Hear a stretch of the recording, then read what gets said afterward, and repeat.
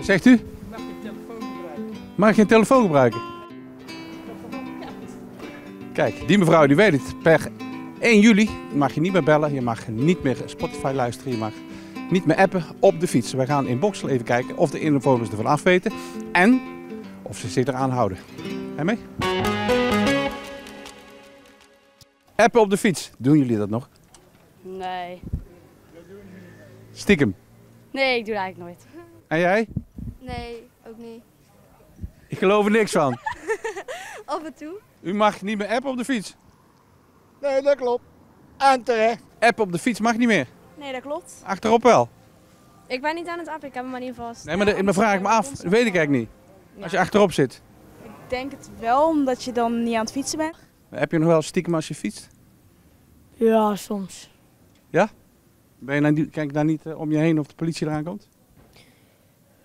Nou, dan kijk- klik ik een keer op en dan kijk ik gewoon om me heen, want het is natuurlijk wel gevaarlijk. Mag je nog wel appen met een rollator? Nou, ik denk het zeker, want dan ga ik even omdraaien. Ik zet hem op de rem en ga er lekker op zitten. En, en ik zet dat ding eentje aan de kant en dan, dan mag ik appen. U heeft net uw eh, boete al gepind, zie ik. Nee, was wel meer dan dat. Aha. Hebt u wel eens op de fiets? Eh, nee, eigenlijk, eigenlijk niet. Nee, Spotify luisteren? ook niet. Mag u appen op een scootmobiel?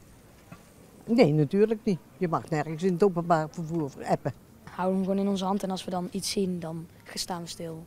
Voor de rest, Ja, maar je mag hem ook niet in je hand houden, hè? oh, dat wist ik niet. Maar je vader staat erbij. Zegt ze tegen mij?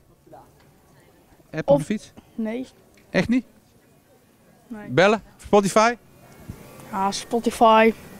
Af en toe. En als je een bon krijgt, wie gaat het betalen? Gaat u het betalen? Nee dat, 100 euro? nee, dat denk ik niet dat ik dat ga betalen. Er mag niet meer geappt worden op de fiets, maar hoe, wat zijn de regels voor een rolstoel? Ehm, nou, weet ik niet. Ik weet niet, dat is mij niet verteld. Nee. Maar ik denk als je appt en de politie houdt je aan en zegt dat is mij niet verteld, dat je toch eh, de bon moet betalen. Dat denk ik ook. Wie gaat het betalen? Als het gebeurt? Ikzelf. Oh.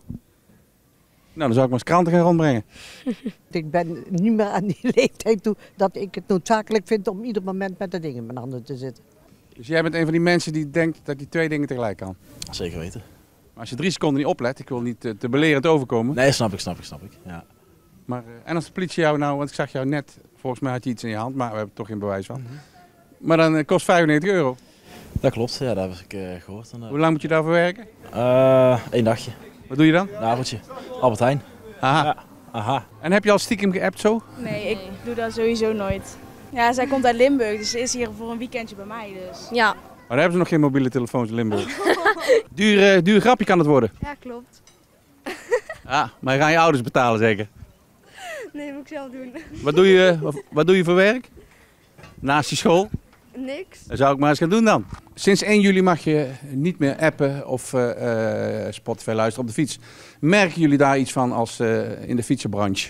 Ja, we merken dat heel duidelijk. Dat de verkoop van de telefoonhouders eh, in die zin behoorlijk eh, verkocht worden, ja. Oh. Er zijn eh, eventueel houders wat je op de stuur kan plaatsen, maar eh, je kan het ook uitbreiden met een app op je mobiel. Zodat je toch, en deze wordt dan bevestigd op je telefoon, ook weer een specifieke telefoonhouder. Heb je voor mij nog een alternatief dat ik toch veilig kan bellen op de fiets? Ja, zeker. Een goed alternatief en wat zeker belangrijk is, eh, uiteraard wel natuurlijk.